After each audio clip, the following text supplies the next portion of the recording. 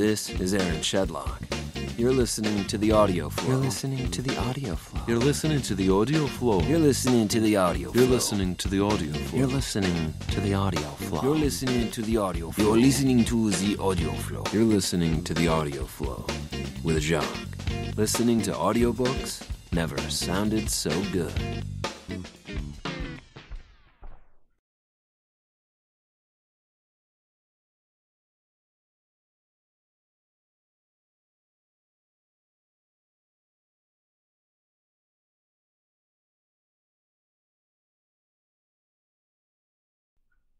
Hey, it would help if I unmute and actually talk to you guys. So this is what happens when you get nervous, right? So everybody, welcome to the audio flow. I'm Jacques and I'm excited to be here today. As you can see, I have some special guests with me and they made me all nervous. I usually don't get nervous or at least I don't admit that I'm nervous until after the show. But yeah, I am a little bit nervous and a little bit freaked out. So I want to welcome two very special people to today's episode. The Karen Lynch is on with us today. Hey, Karen. Hey, would you stop calling me the Karen Lynch, please?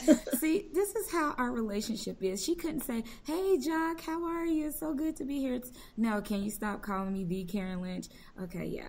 Do you want me to tell everybody what you really call me? Who I am? No. Sure. Go no, ahead. We won't do that because I said we couldn't say any um, curse words. No, we'll get to that later. And then we also have the lovely Caitlin Greer on with us today. Hey, Caitlin. Hey, Jacques. How are you? Oh, I'm just chipper.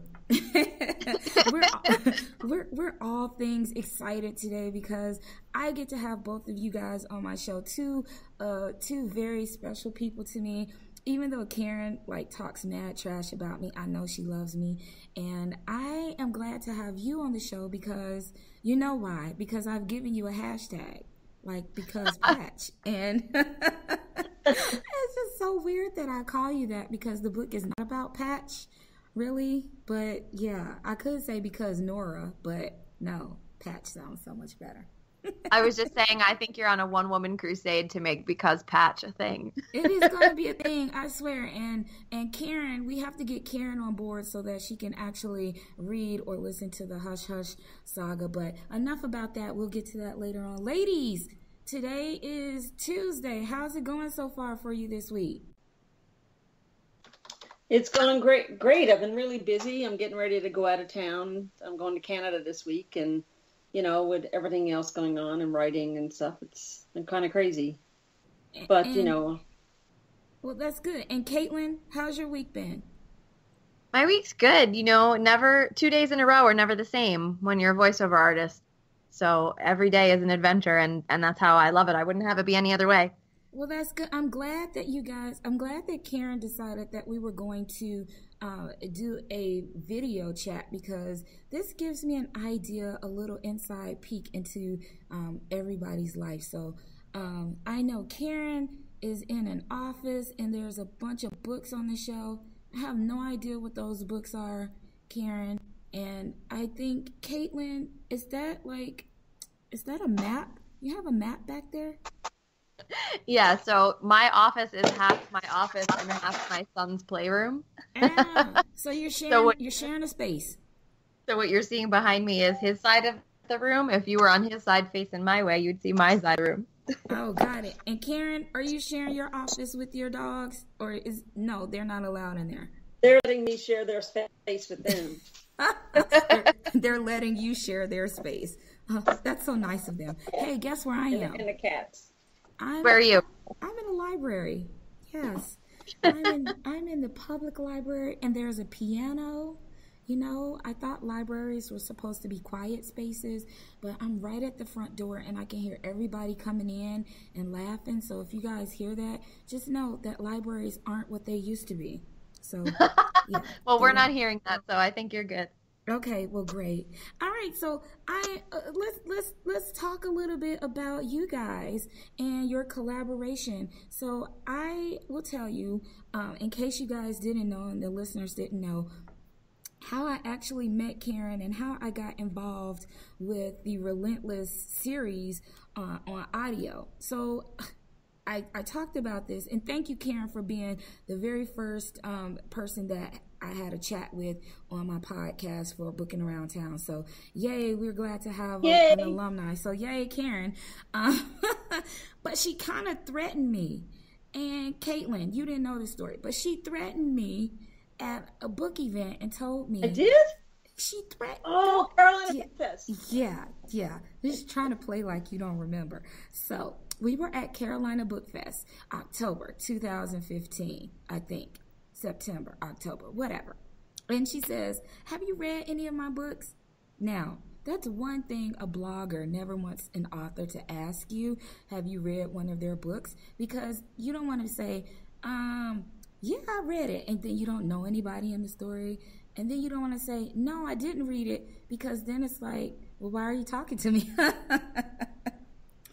so, so that's kind of what happened. Well, she was buying a bunch of books from me. That's why I didn't know. she did. Well, hey, I'm a, I always support people. It doesn't mean that I've read everything, but I liked you and you were funny. And we used to chat on Facebook, and you were like, "Oh, I thought you were in my reader group," and I'm like, "No, we just talk on Facebook." And so uh, she said, "Well, when you come, when you see me again in Roanoke in April, you better have read those books." I said, "Okay." So yeah, she threatened me. So this is when I started into audiobooks and I was like, ooh, they're on audio. So enter Relentless on audio and Caitlin as Sarah. And man, Caitlin, you were absolutely amazing in those books. I I scoffed those books down or binged them. I think in two days I finished all three books. So that ought to tell you how good I thought your performance was. So um, I love I'd love to know a little bit about how you how you and Karen connected. What was your relationship like when you found out that you would be playing this this role? Well, I think Karen should probably start because she knew an earlier part of the process than I did. I, I came in when it was already partway underway with her and the and the audiobook production.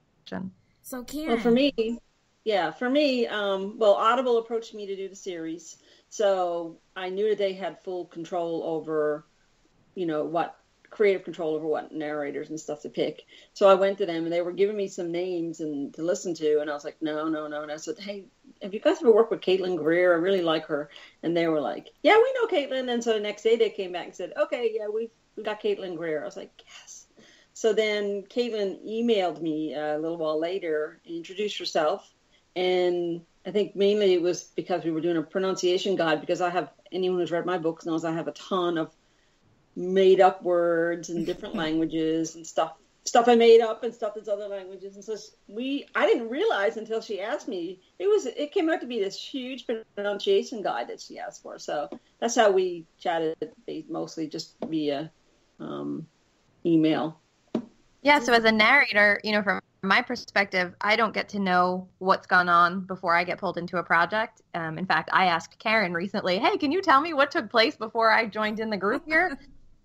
um, so you know, I get a request from Audible or whomever the publisher is, either directly or or usually through my agent, and they say, you know, we have this book project for you if you could take it on. And obviously, I wanted to do this book and my first step after that, I introduce myself to Karen via email, but um, it's usually just a hey, thanks for having me on your project. Great to be doing this. And then I have to sit with the book and I have to go through it. So in this case, there was a heavy pronunciation guide, but I wouldn't have known that until I'd made my way through the script. So, you know, I'm doing a lot of legwork, you know, or, or reading work, I guess, um, on my own time first and making note of where all those, in the example of pronunciation guide, where all those words are that I'm going to need to reach back to the author about. Um, and once I've got that compiled, then I get back in touch. So I got back in touch with Karen, and we had we had a lengthy list to go through, and some of them were um, words that she had invented, and some of them were words that were names that had multiple pronunciations. And I don't want to make a judgment on that, a judgment call on that. I want to make sure I'm staying true to the author's vision. Um, which is why it's sometimes funny to me when you see like the readers and listeners um, chatting in a fan group or talking when you meet them in person and saying, "Oh, I always pronounce a certain name this way, but you yeah. pronounce it differently," and you want to say, "Well, I, am just trying to follow instructions." yeah, there was actually a. She asked me how to pronounce Nikolas, And there was a huge discussion in the Mohiri group after about how people had envisioned his name, and some people mm-hmm. didn't like Nicola, some people thought it should be pronounced different way. Mm-hmm. I loved it, and it was funny because when she asked me, I was like, how do I how do I want to do that? Because I know people have their own you know thoughts on how he looks or how he sounds. Um, so yeah, that was a, a decision the the main the main one of the main persons that everybody fell in love with and their their whole thought was well how do you pronounce you know how I you know what I call him? I just say Nick. I mean I don't even go through the whole process of calling him Nikolas or Nikolas. He's just Nick. I'm just really simple like that. But yeah Karen has a ton of uh, names that I'm glad that you she and you worked out so that I didn't have to try to figure out how it was pronounced in my head. So good job there, and and thanks Karen for uh, the Karenisms and the uh, Karen language that we have all come up. Thank you. You know, different narrators handle that differently. I'm sure I can't speak for everybody, but for me, I want to make sure that my pronunciations are staying true to what the author had in his or her imagination when when she was writing this book. You know, that's my goal. Um, and that's just my comfort level. I want to make sure I'm I'm true to their vision. Right. And so I, I want to talk a little bit to Karen about audiobooks because um, I don't Karen, were you really into audiobooks before Audible approached you at purchasing a license for the books or is that something over a period of time and with the um, now five audiobooks in your in your library that you've come to enjoy? No, oh, I didn't really know much about audiobooks. Um, and I listened to so many samples in the year before. I was planning on, I was talking to some other authors about doing them myself, getting them produced and stuff. And I didn't know Audible was going to approach me. So I was researching and I listened to so many samples of, of, of narrators. We're listening to young adult books and different books. And that's how I found Caitlin. I wasn't into. I didn't really know what to look for. I just was going by, oh, who sounds most like what I envisioned Sarah's voice to sound like. That's what I went by. Um, it was the same thing when I was looking for the who was going to play this when I was doing Warrior. I mean, when they approached me about Warrior, I already knew who I wanted to play. You know, to to do his voice. But um, the um, I never really got into audiobooks until someone gifted me a book in I think it was January or February of this year. Somebody said, "You've got to listen to this book." And, I wonder who that special person was. No. I wonder. and then I got into, and that was um, adult contemporary romance, and then that's when I got in really into um, that. That's what got me into listening as for pleasure the first book I ever listened to was Relentless. That was because I just wanted to hear how it went. Mm-hmm. And other than that, I didn't. So, Caitlin, you were my first narrator that I ever listened to. oh, oh thanks. so, you know, that brings you to another really interesting part of our process. When you talk about it being a collaboration, it is a collaboration, but there are long stretches of work that we do where the other one is not privy to what's taking place. So, mm-hmm. after we do that pronunciation guide, um, you know, and clarify anything else I might have questions about in the text, I then go into the studio and I'm recording this book, and and it isn't as though Karen is there with us or even getting daily you know recordings to listen to. You know, um, that's really a process that I'm engaging in with my director engineer before she gets brought back in. Well, I, I love that you um, that you guys have had uh, such different sides of this coin. And I like that Karen said you were her first because I mean, you were her first narrator she listened to, and you were her first audiobook. And so it it's just fitting that you were the one who had. I, okay, so I gifted her an audiobook, yes, of course, but you were the one who, who who introduced her to this side of the industry. And so while you were going through your process, um, so how long did it take you uh, to actually get through reading the books? I don't know if you had a timeline between Relentless, then Rogue, and then Refuge. Did you have, you know, a timeline or deadline that you needed to have them completed, or do you kind of just go through? You have all of this the scripts and the books because they were already out. So, did it take you less time than it normally takes you to do um, maybe some books that uh, all the series isn't yet out or released yet? Um, well, there there are multiple questions in that question. Let me mm-hmm. separate mm-hmm. them out. One is that um, the timeline on the project is collaborative. There are a lot of people involved who have obligations and timelines that need to be met. Um, and I'm only one small voice in that hierarchy. Uh, no pun intended, saying voice. Um, so usually when Audible gets in touch with me, they will have a timeline in mind. But then the studio, the engineer that I work with, has to also make sure that timeline matches their studio bookings. Mm-hmm. And they have to check with me to make sure my schedule accommodates that. So there are a lot of moving parts that have to be coordinated um, in terms of how long it takes the actual books to be recorded and then mastered and ready to be released to the audience. Um, so that's the answer to one piece of that question. In terms of my prep time, um, I can tell you a few things that increase prep time on an audiobook for a narrator. And, and Karen, you let me know if any of these things sound familiar. Made up language. Made up language. Um, words in foreign languages. Um, a lot of different accents from all over the world. Karen, sounding familiar yet? Yeah like um, refuge. Um, a lot of different characters, particularly when they're all in dialogue with each other and scenes with a lot of different voices. Um, so those are all things that increase a narrator's prep time, and this series obviously is heavy on those things. So what that means is for me, um, I can't just go into the booth cold and start to record these, these books. I need to have read them completely through before I go in. Um, I need to have done my homework which means learning any accents I don't already have in my toolkit, going through that pronunciation guide we were talking about, coming up with a voice for each of the characters. And this is a, a large catalog of characters in this series. Um, and then what I actually do is uh, use a program called iAnnotate on my iPad. Mm-hmm. And I mark each character's dialogue with a different color highlighter. One of the great things about that program is you have a crazy number of colors you can use. So I should screenshot for you guys and send it to you. But it, my page looks like fruit salad because it has so many colors.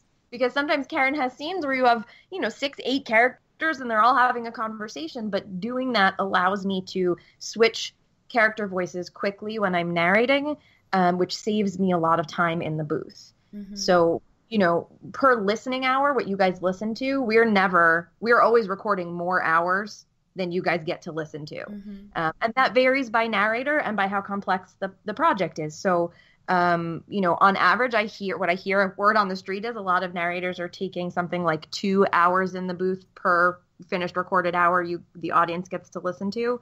Um, I tend to be faster than that. I prefer to put more time in on my prep before I get into the booth and spend less time in the booth. So I think I'm at something like an hour and 20 in the booth for every finished hour.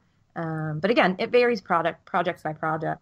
Go, Caitlin. You you also you also make notations for what the mood of if the language is right. Like if someone is angry or if someone is upset or scared, you also do that as well, right?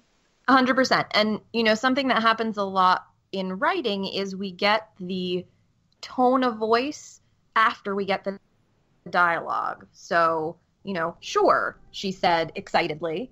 Well, mm-hmm. excitedly came last right? And if I'm narrating, I need to know that that sure is in an excited tone of voice. Right. So I've read that ahead of time and I've marked in my script right before the dialogue excited so that I make sure to read that tone that corresponds to whatever instruction the author has given later on in that paragraph. It just seems like okay, I love audiobooks and a lot of us as listeners um, just like we read books, we don't really always understand all of the work that it takes to get to the end project. And some of us, I mean, I'm guilty of this too. I'm like, can you hurry up with that audiobook or can you like write that book just a little bit faster? Um, but the more that I have these conversations, the more patience I've learned to have because we want it to be good and you want it to be good. You want it to be um, a work that it's you're proud of. And so and so you know, because Caitlin has this prep time and Karen has to finish the book, faded, and you know, so we just have to sit and wait um, for you to, you know, get to that point where we can get it in our hands and we're like, yes, it was amazing. And that's the thing that I enjoyed. Like I said, I did. I won't say I cheated and didn't read all three books because I like that somebody else can perform it for me. I mean, why not, right? And so when you had to find these voices for these characters, um, I always think that's interesting again because I want to know. I want to know do you actually um, get in touch with you know Karen and say, "Hey, I'm thinking about you know going with this particular voice. What do you think?" Or do you just kind of go with you know a mood and you're saying, "I think he sounds like this," and I'm just gonna put it in. So how much of that do you guys work out together before you just say this is this is Nicol this is how Nikolai sound Nikolas sounds? Well, the first thing I do is get as many clues as I can from what's written on the page. Um, you know, and I guess part of that comes from my theater background, from my training having gone to school for theater, because one of the things that they taught us was um, read a play for what the other characters say about your character and you're going to learn valuable things about creating your character based on what everybody else is saying. So my instinct from that training is to look for any clues the author has given me first and foremost about what each character is going to sound like. Beyond that, if I don't have any clues or I need to build something on top of the clues, those are choices that I make as an actor. Um, so it, it would be unlikely that I would go back to Karen about a character voice choice unless I really felt that that I was at risk of making a choice that conflicted with her vision, which which is not doesn't really happen. So I don't know, Karen. Was there anything that was so you know on the mark or off the mark that you thought, oh, I would have done that a different way, or or that's exactly how I envisioned it? You me? Yeah. yes, you, Karen, the Karen Lynch. yeah, no, that, no, that's that's right. We didn't really talk about um, what's his character like. She pretty much nailed him down really well.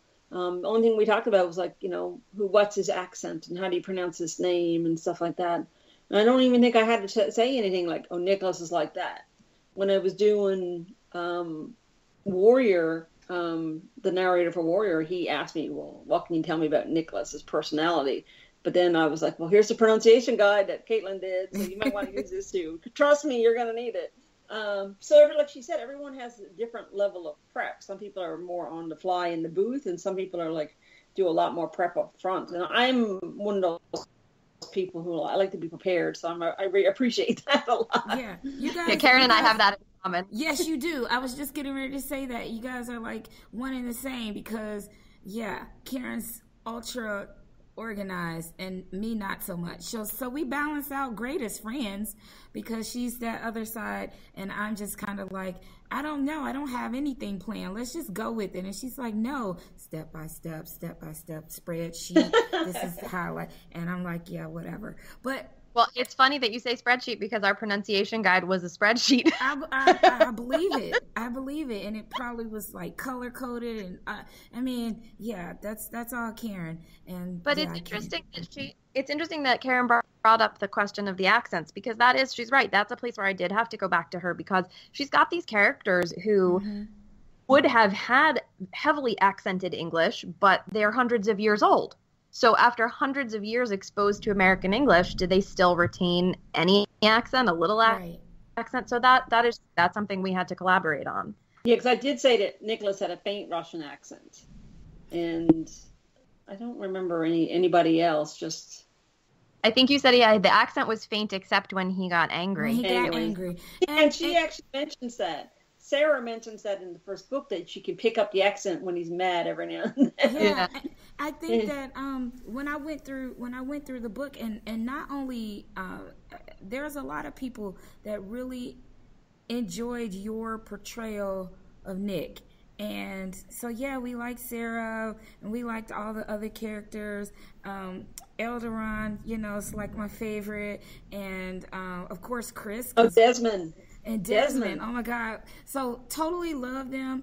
But like the way that you as a female, you know, we sometimes don't always expect for a female to sound like a dude. Like, you know, let's be honest, you're not you're not a dude. You're not going to, you know, have all this extra you la- I, they're laughing at me i can see them but you're not gonna have like this all this extra bass and i think for you and with so many listeners um, we had this whole thing about well who's gonna do warrior and it was like well is caitlin gonna do it was like is caitlin gonna do warrior you know and i and it was so funny because people were okay with it if we if we went that route because you did yep. such a good job with um, just his attitude with his with the tone with the hint of russian with you know all of that. You gave us this identity and this voice for for nick. And um, but then i want to kind of go over to haven a little bit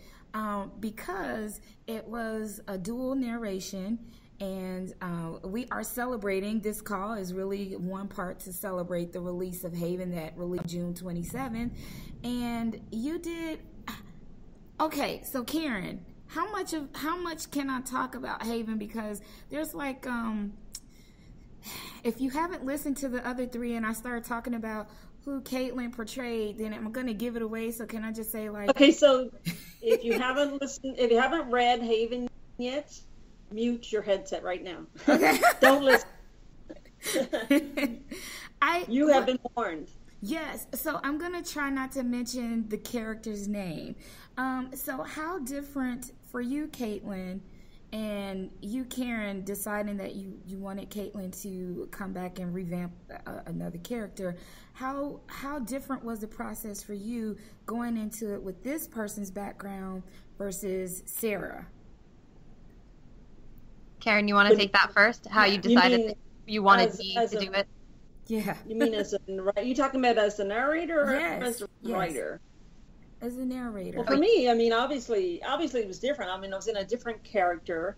Um, the storyline was going to be um, more of a love story than the action-packed story that, like, the Relentless was kind of crazy at times. But Haven was never meant to be like that. It was supposed to be a love story. Mm-hmm. And Sarah had, you know, her issues, but okay, Emma had a, a really heavy, dark background. So it was my first time kind of delving into that kind of baggage that someone carried with them, with some kind of with the trauma that she had suffered in her past, and so that was different. And then plus, Roland was the best friend in the series. He was like the boy next door in the series, but I always envisioned him growing into something different. So I had fun with him developing his, making him more alpha, making him, you know, more of an adult. So he had more of a growth uh, character arc, I think, in the book. Um, but yeah, I mean, it was it was definitely different going from like Nikolas to Roland and then Sarah to Emma. I mean, completely different characters altogether. Mm-hmm. Uh, I don't know how you would approach that as a narrator, how it would be different. But for me, the dual point of view was hard to write. Is very hard to switch between.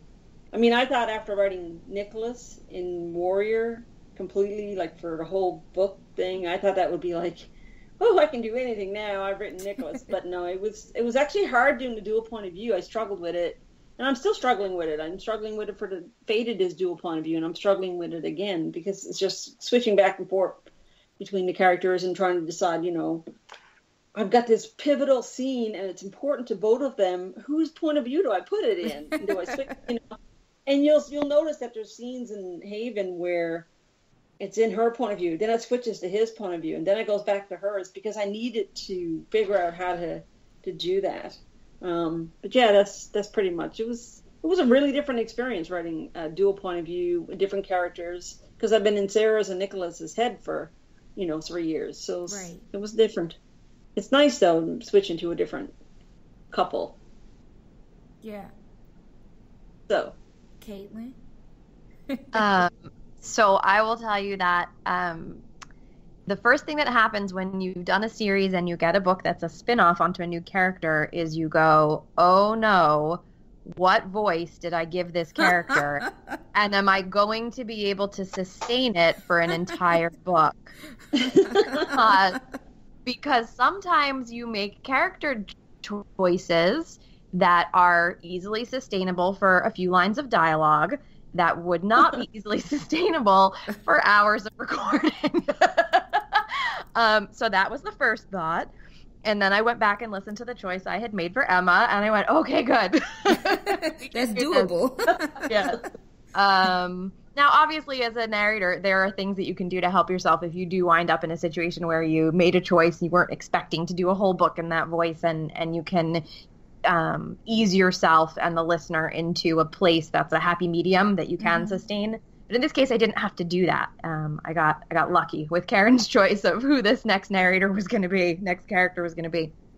Um, so I went back, I listened, I made sure I was staying true to the voice that I had given Emma in the earlier book, but also, um, you know, as now that she's the narrator and we're hearing her internal thoughts as opposed to just her dialogue, um, she gets some different nuances. Mm-hmm. You know, we get to hear that what she sounds like when she's being internal, what she sounds like when she's frustrated with herself. You know, a lot of different emotions that she experiences personally that she's not necessarily sharing outwardly in her dialogue. So that's mm-hmm. really fun too. Is now I get to explore the depths of this character who didn't get a whole lot of depth in that internal way in a previous book. Um, and then in terms of your question about the dual narration, I love that. I'm actually I really love having the opportunity to do that for a couple of reasons. Um, the the biggest reason is that it turns it into an even more collaborative process and it means that we get to expand our audiences because there are listeners who would come to that book, would come to Haven specifically because I'm narrating, and now they're going to get to know Zach for the first time, and maybe they're going to listen to what else he's done. And then the opposite is true. There are listeners who would come to Haven because they like Zach's work, and now they're going to be introduced to me for the first time and explore what else I've done. Um, and I love that because, you know, sometimes as a voiceover artist, we we aren't always, and I'm sure this is true of writers too. We aren't always so tapped into a sense of collaboration and community because a lot of our work happens independently.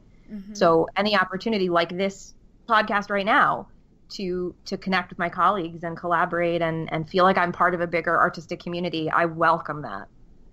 Well, you're always welcome on the show, Caitlin, and Karen's always welcome when she's being nice to me and stuff. So he threatened me if I didn't come on, so I just didn't. but Kate, plus she uh, sent me a care package. She sucked up. I did. I sent you a birthday a gift because I'm because I'm your friend. I'm supposed to do stuff like that. But um, yeah, when we go on our road trip, that'll be fun. Caitlin, make sure you stay tuned to those live videos because we're we're gonna we're gonna uh, blow up the internet with our shenanigans on the road.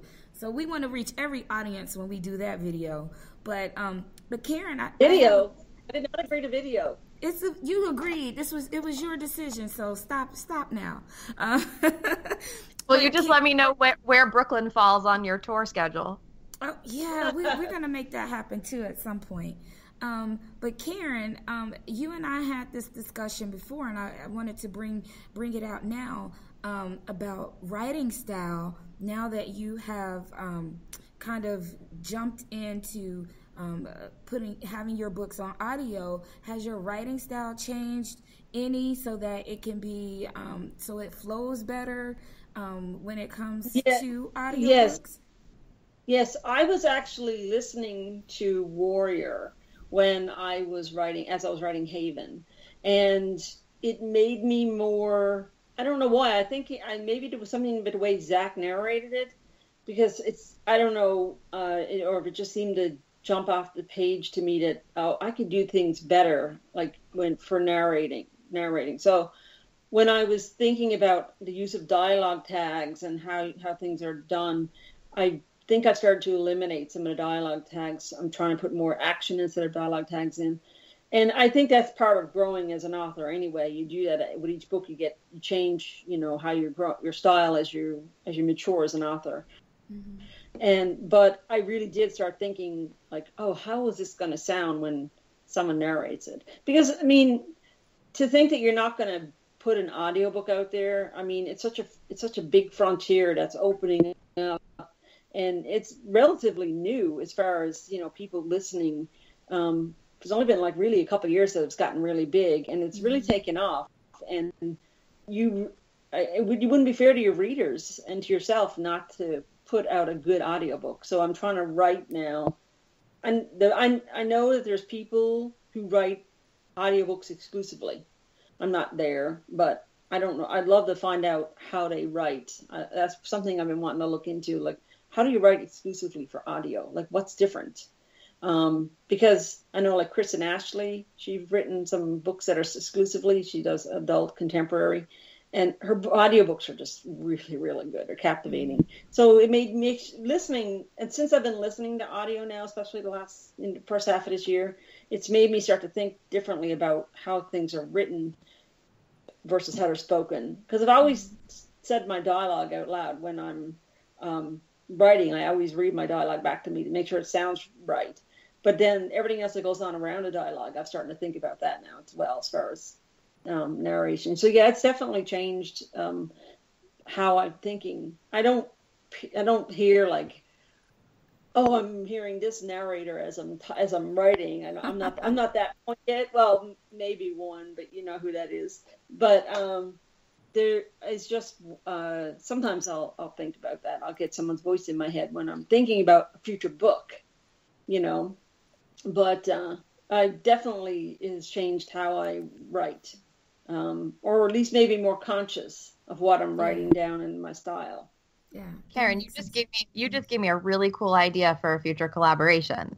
So you know how the fans are clamoring for storylines from other secondary characters? Don't You- don't go there. You could write Mayday, Just- Mayday, check the Skype no. chat box. You- no. you could write where's that vignettes, vignettes that are straight to audio. That's all. That's what I was gonna say. Rather than oh, I see what you're saying. Write directly for audio.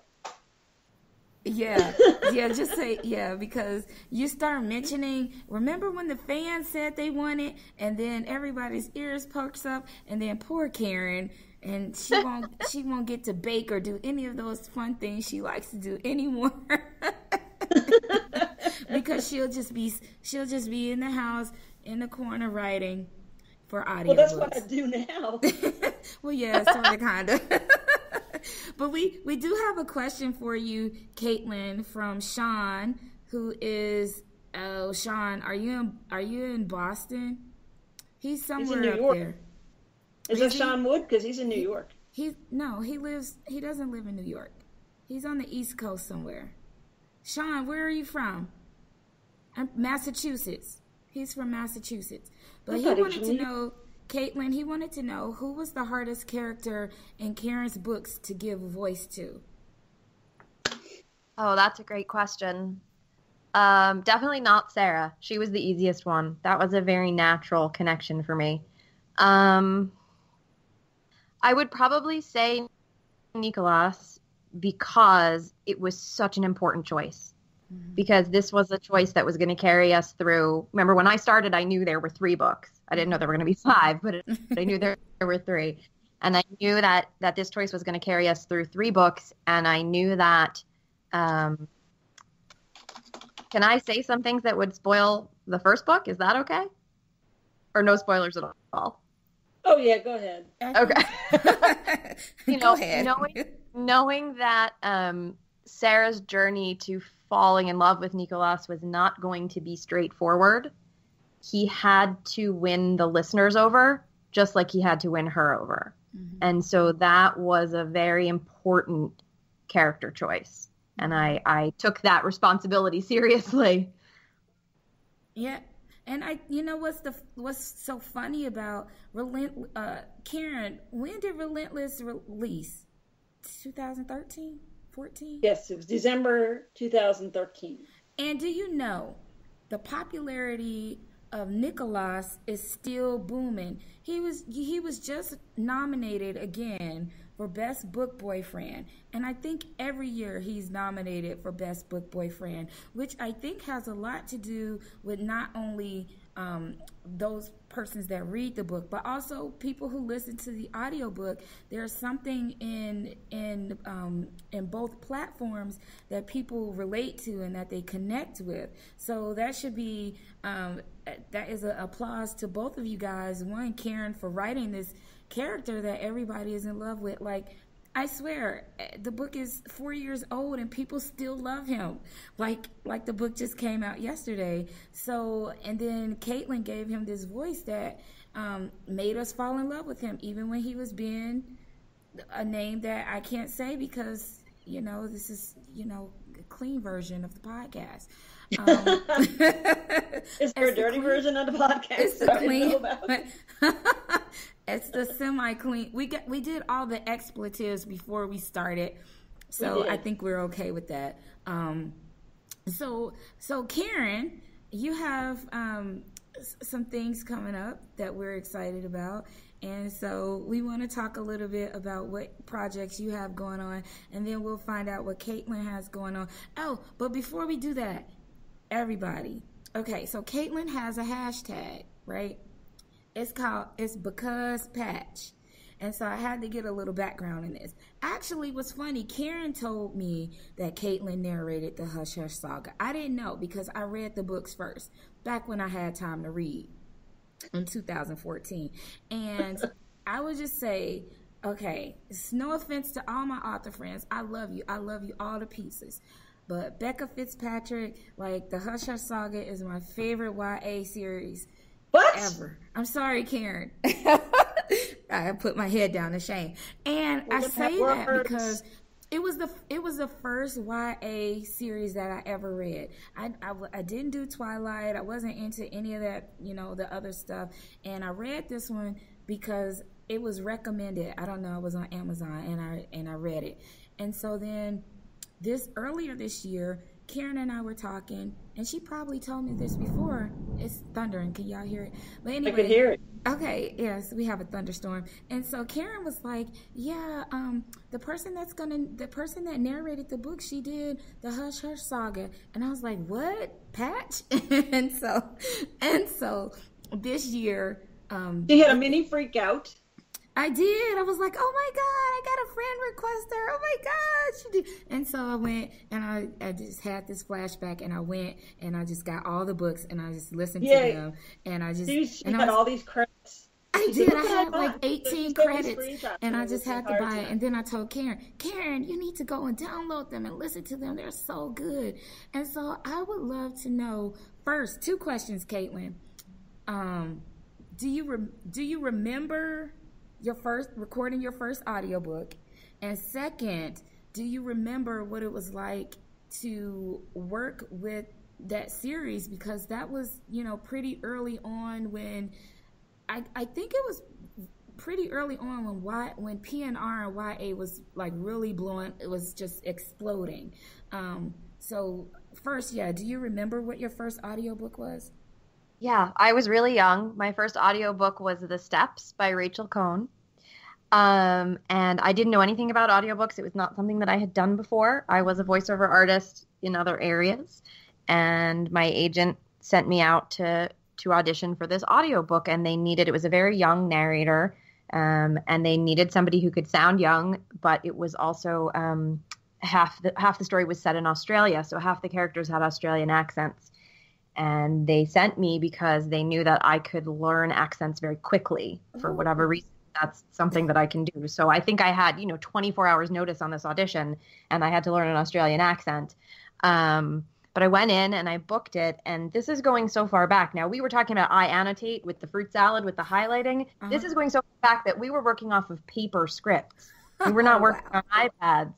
Um, and so instead of highlighting every character in a different color, I would have a different symbol for each character. And I would mark, you know, one person got an asterisk before their line of dialogue, and somebody else got a squiggly line, and somebody else got a carrot, and somebody oh, wow. else got a heart. wow. I was switching through these symbols. And because I had gotten thrown into this without any lessons or classes or, or mentoring from an older audiobook narrator, I invented that for myself. I mean, I literally just went, well, I, am going to have to figure out how to do this.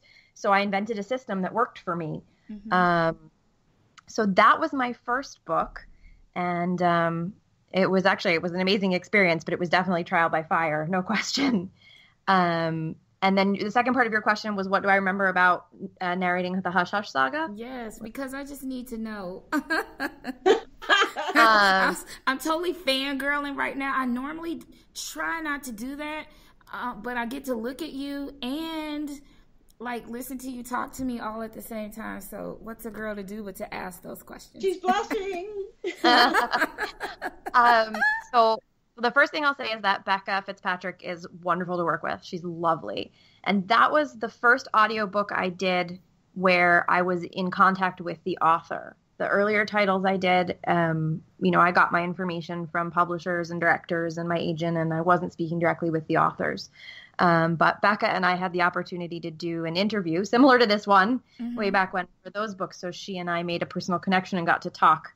Um, and that was made it a, a even better experience than the other books I had narrated because again, this idea of collaboration and colleagues and community and and you know, here you are creating a work of art with a group of people and you don't ever talk to some of them and that Mhm. always felt a little bit strange to me. So Mhm. so that's one of the most memorable things about that experience for me. Um, and yes, you are right. You know, paranormal YA seems to be a sweet spot for me. I've done I've done my fair share of those, um, but I am a huge science fiction and fantasy reader myself, and always have been since I was a kid. So that fits just perfectly with what I like. So I'm I'm thrilled to do it.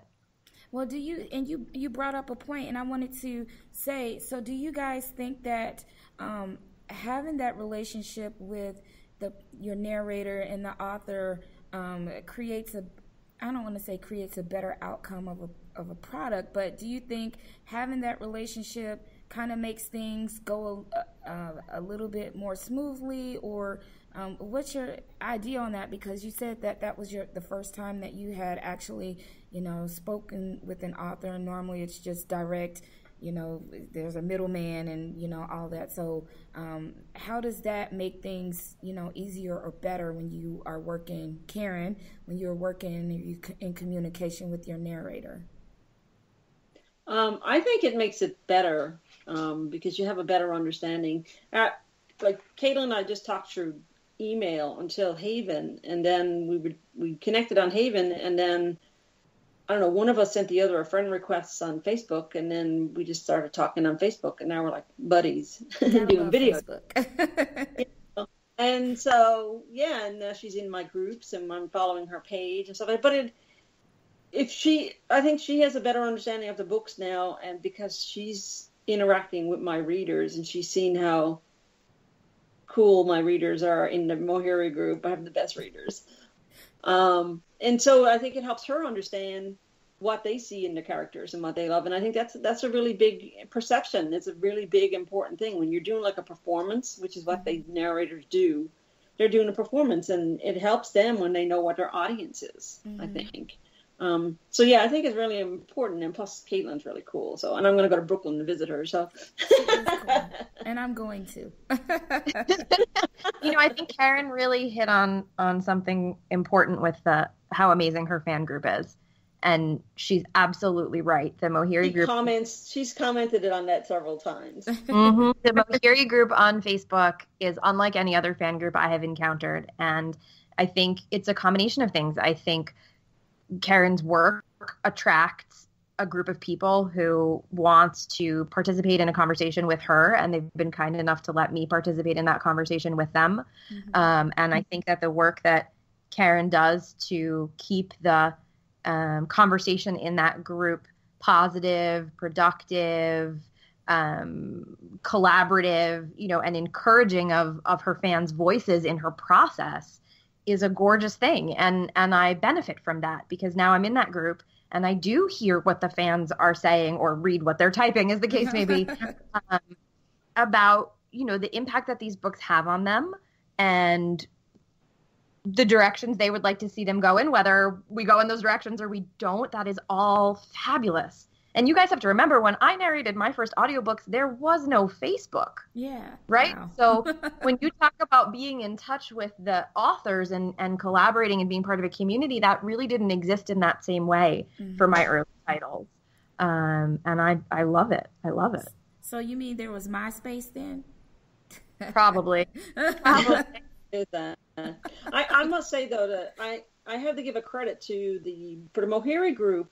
Kind of self it's kind of self governed. The people in there are really well behaved, but the admins, um, Sarah and Jeannie and Raina and all the admins that are in there and, and Jeff and um, if I forget anyone, I'm sorry. Um, they do a really good job of making sure, and they also handle uh, Club YA, which is the other group with all the other authors they're really good at moderating the group and making sure that people stay on track. And for the most part, we don't have anyone doing any bad posts or you know posting anything that's inappropriate or anything like that. They're really good crowd. I've been, like I said, I've just been really blessed when it comes to my reader group.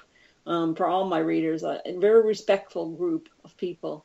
So and fun. They're a lot of fun. I mean, that's why I like going in there because they're fun to hang out with. When they have all these, like the last teaser that came out in July. Yeah, they have so many theories. But listen, let me tell you what, there's so many theories floating around. And they're like, Karen's at home chuckling right now. And I really was. I was laughing.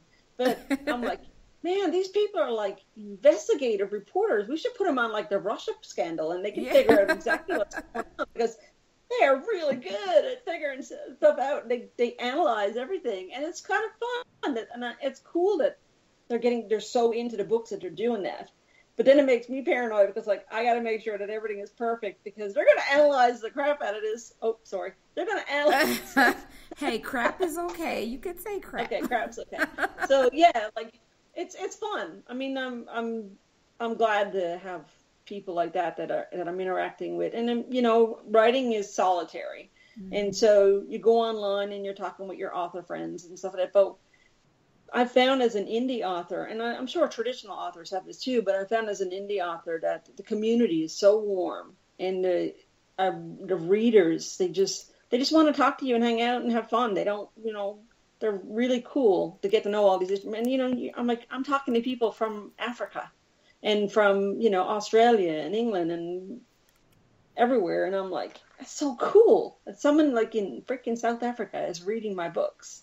You And know, yet- so And, and yet, It- you're it always is. saying, you're always going around saying, I'm not that popular. Nobody really knows me. And I don't I'm like, say Karen, that you're, I'm like, you're the Karen Lynch. Everybody knows you. Like, only because you you put that label on me.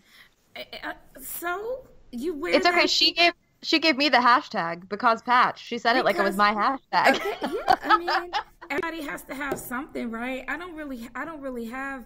I mean, I do have something that Karen kind of like says I was her book bitch. So everybody, I'm sorry that you know Karen said, you know, Jock's my book bitch, and I was like, well, okay, I'm gonna get a shirt and just put Karen, Karen Lynch's book bitch, and I'm gonna wear that when we go to Penned Con, so everybody knows I'm your property. So, so there you go. You can be the Karen Can I Lynch. say something else about the fan?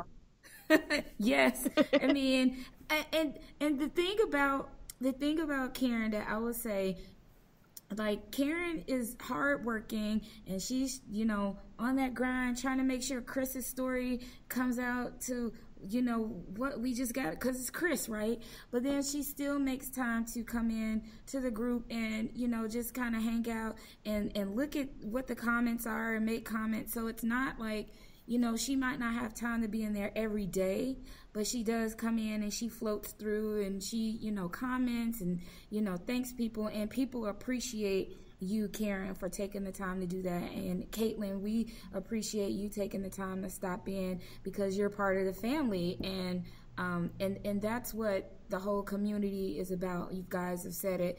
Um, it's it's family, and we're all related by a book or two and a couple characters and uh, it, it's just it's just a lot of fun. And so you won't see me posting in there that much because I don't like to keep stuff clean. So I just post that stuff other places, and then I just tell people to go look at it. But don't look at don't post in the Mohiri group or anything like that. But okay, so I've rambled on. But Karen, we got to know a little bit about We got to know what's going.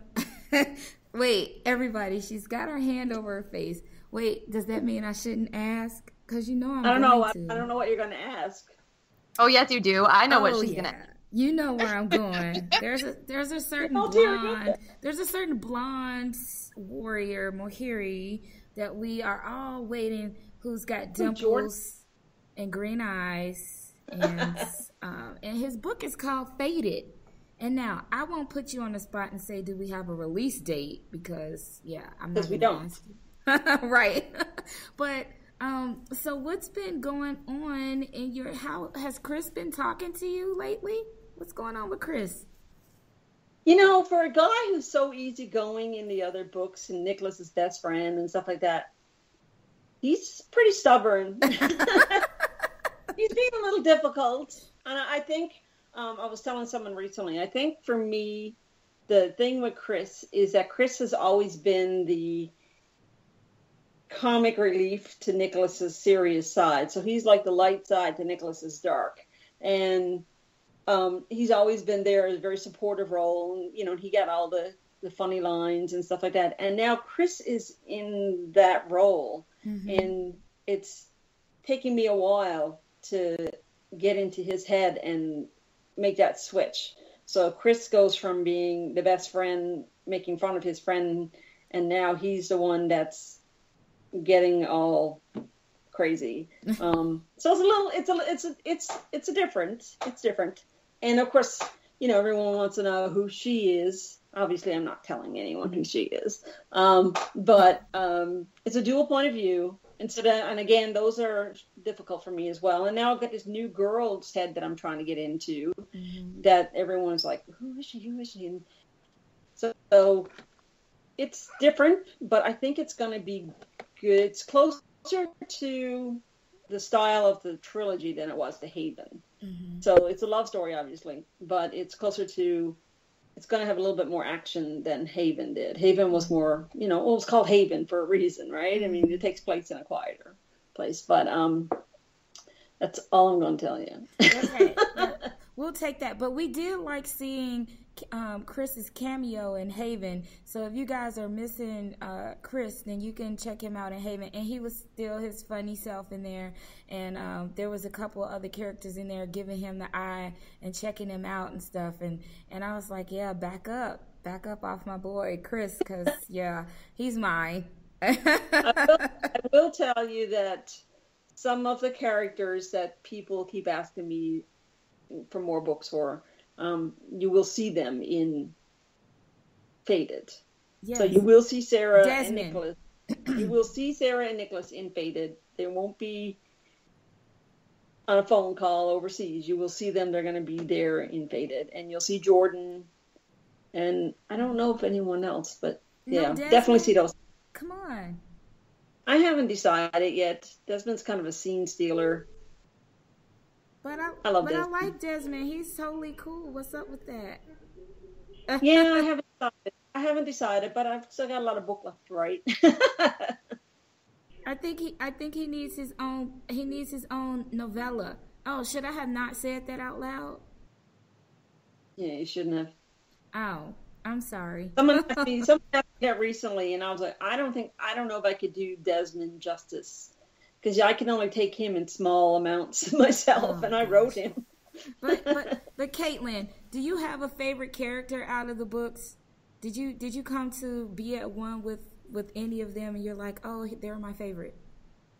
I mean, Sarah's my favorite, but that's what happens when you embody a particular character. When when she's the protagonist, and I'm narrating all her inner thoughts and mm-hmm. and feelings, you you build that connection with that character. So when mm-hmm. we switched narrators you know, when we got Emma on Haven, then I started to get really attached to Emma because I'm I'm I'm living in that person's skin and inside her head. So, yeah. Uh, you know, we'll see what Faded brings. yeah, well, you well you did a good you did a, a, wonderful job on all four books. So we thank you for that. And so tell us, um, what do you have going on? What projects are you working on currently?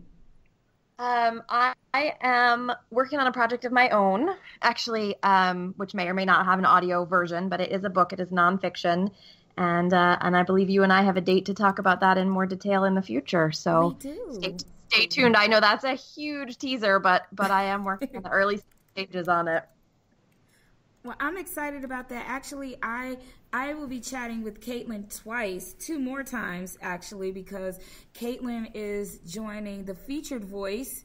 And I don't remember if you said you wanted to do season two or season three. Doesn't matter. She's on one of those. So we'll get more uh, in depth details about Caitlin and all of her narrating projects and, and all fun facts about Caitlin and her office slash son's playroom and um, all the stuff on the uh, as I keep looking, I'm trying to see. I think is there? A, it looks like a tent behind her, doesn't it? Is that like, like a, a, banner? What is that banner under the map? Is, it's his that... name, but don't read it out loud. okay, no, no, I won't do that. But yeah, so and then I see something hanging up in the back, and then some stuff in the corner. I'm like being all nosy. Oh, she's got a wooden door. No. and and then all I see is Karen's chin. Like she's not even showing us her what whole do you mean face anymore. See my chin? I'm like I don't see any of you any in there anymore. okay, yeah, she's standing. Karen got her fixed her hair for us, so you can't see it, but we're enjoying it. She looks fantastic, and um, so yeah, this has been so this has been so much fun, guys. If you are looking to, um, if you've never listened to an audiobook or if you've listened to Karen's books on audio and you haven't left a review, please do. Um, narrators need reviews just like authors need reviews. So go in, let them know that you enjoyed what they did, how they performed in in that book. It's it's very important. If you have not picked up Haven yet, we will be doing a giveaway for Haven, um, and we will post it later on this week. It'll be a listen to win. We'll post a question. If you listened and you have the answer, then you will win. Um, I have a chance to win a copy of Haven on audio as I am still chatting and I would like to drink my water, I can't. Um, I would like for you all to make sure that you are following Karen and Caitlin on social media. Now, we know Caitlin is not on Twitter yet. We're working on that, right, Caitlin? We're working on Twitter. You're you're trying to win me over. yes, we're working on Twitter, but Karen, tell everybody where they can find you on social media. Oh. And she's well, looking Facebook. at something. yeah, Facebook. On my Facebook page, you just look me up, Karen Lynch. My Twitter handle is Karen Lynch NL, and NL stands for Newfoundland, by the way. And then my website is KarenLynchNL.com. So I just want to keep it the same. And then I'm on, and I think on Instagram, Instagram I think I'm Karen Lynch NL on Instagram as well. I try to keep it the same. I couldn't. I when I went to get my URL, I my Karen Lynch was gone, so I had to use something else. So I went with that. And and Karen is actually going to be traveling, and she's going to be gone from us for a couple days. We're going to miss you, Karen. So you enjoy your trip. And Karen just celebrated a birthday, everybody. That's all I'm going to say about that. So if you did not go and tell her happy birthday, you just go and say happy birthday and you keep writing. That's that's what you that's the hashtag. Happy birthday and keep writing. And Caitlin, Caitlin, how can we how can our listeners connect with you? So I'm on Facebook under Caitlin Greer Meister. Um, you can find my website is caitlingreer.com.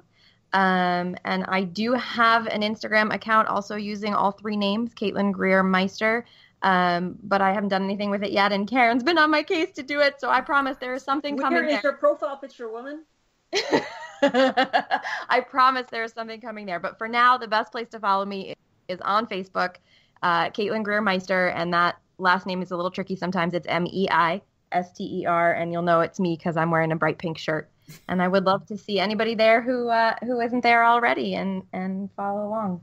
Well, that sounds great. So everybody just look for the bright pink shirt, which is the same thing she always tells me. I have a picture, the one with the bright the bright pink shirt, and I said, okay, well, bright pink shirt is that should be your new hashtag, bright pink shirt. I don't know. I still like because patch. You're gonna you're gonna always have that. You'll be like 90 years old, and I'll be like, remember when you narrated that book? Because patch. and in case you guys didn't know, uh, another fun fact is that Caitlin narrated Nora Grey in the Hush Hush saga, and then she had Sara Grey in the Relentless series. So it's just something about those Grays. I don't know. So kudos to you. Caitlin, Caitlin, did you also do a James Patterson book? I did. I, I did a James Patterson bookshot, The Shut In. That's pretty See? cool. She's, yeah, that's the that's the second most recent.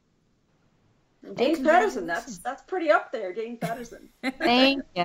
Thank you. Well, congratulations to you. And so, everybody, thank you so much for listening to this episode of the Audio Flow. Again, I want to thank Karen Lynch and Caitlin Greer for joining us today. Be sure that you are following the Audio Flow on Facebook at the Audio Flow, also on Twitter at the underscore audio underscore flow, Instagram the Audio Flow. I do try to keep it simple too, so just look the Audio Flow up. You can even Google us and you'd probably find us. You can also hear all of our podcasts now streaming on iHeartRadio. We are also on iTunes, Google Play, and TuneIn. So we're everywhere. We're building an audience with you guys, and we love you, and we thank you so much for listening. And be sure that you are following so that you can enter for your chance to win a Haven audio code. All right. Thank you, ladies, so much. Thank you, Josh. Thank you. All right. Bye. Bye. Bye.